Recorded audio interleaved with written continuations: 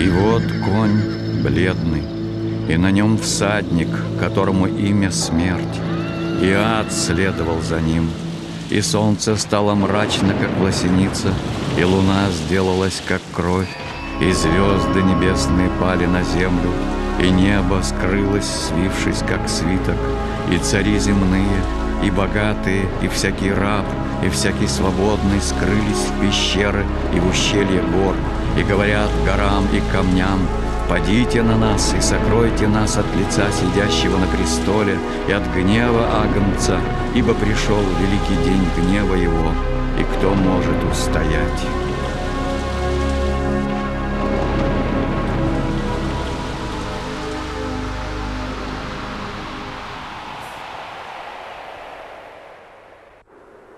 И вот конь бледный, и на нем всадник, которому имя смерть, и ад следовал за ним.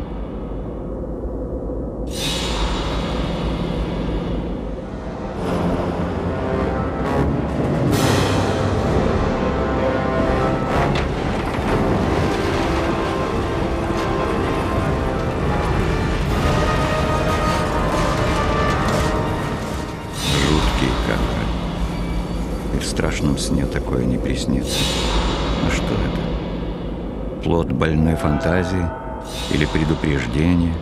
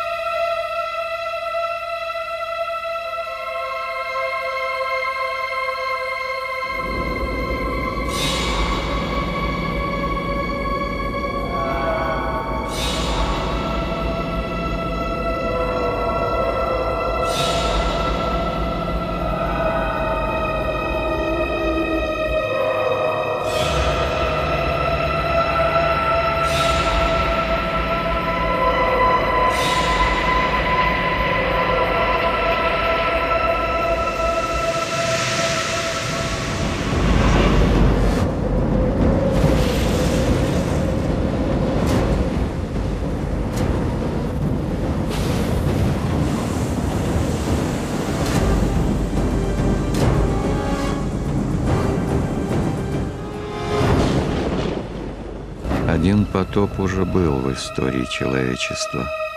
Однако что он изменил? Разве люди стали иными?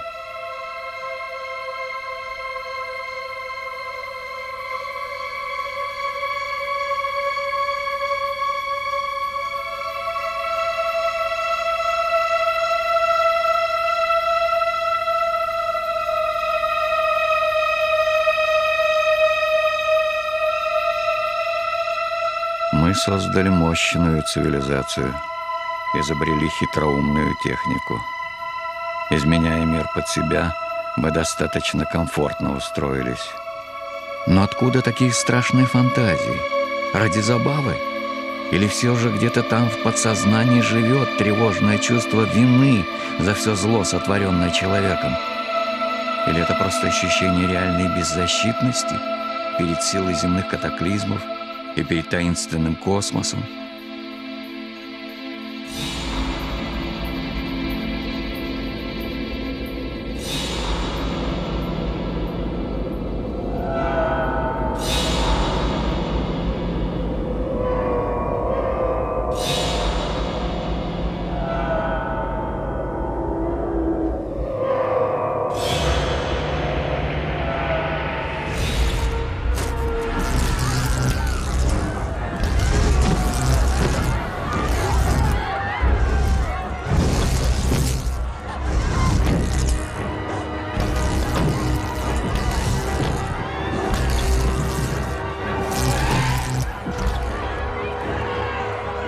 Неужели человечество может исчезнуть раз и навсегда?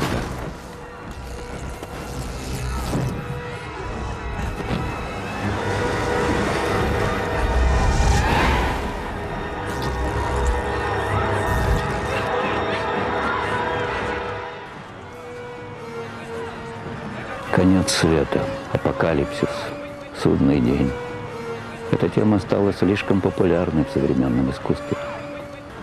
Авторы множества кинофильмов, книг, газетных статей, журнальных публикаций увлеченно рисуют нам леденящие душу картины конца света, гибели человечества, ядерная война, глобальные катаклизмы, вторжение из космоса. Вариантов много. Не странно ли, что эта тема столь популярна в современном обществе? Все мы боимся конца и пытаемся избежать его, и в то же время мы как бы предчувствуем, что финал будет. И главным поводом для этих страхов является технический прогресс. Ведь именно он вызвал глобальные изменения на планете и поставил человечество перед вопросом, к чему мы идем.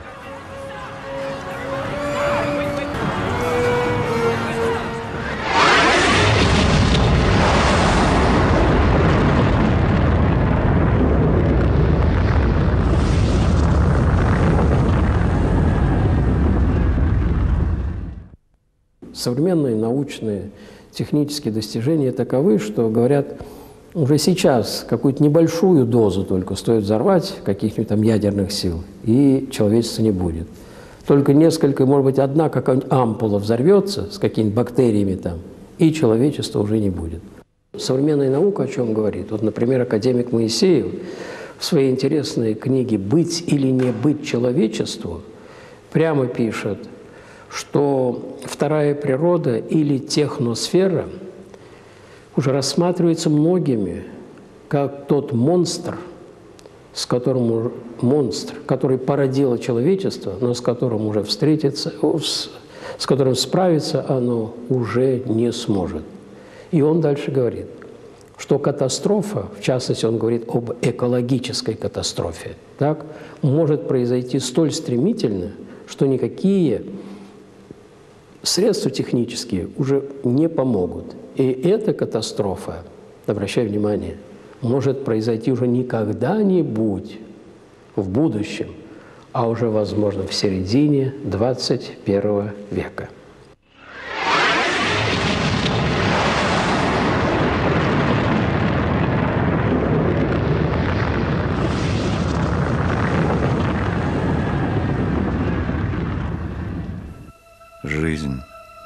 Это необъяснимое чудо. Даже наука пришла к этому выводу. Но она же открыла возможность легко уничтожить все живое –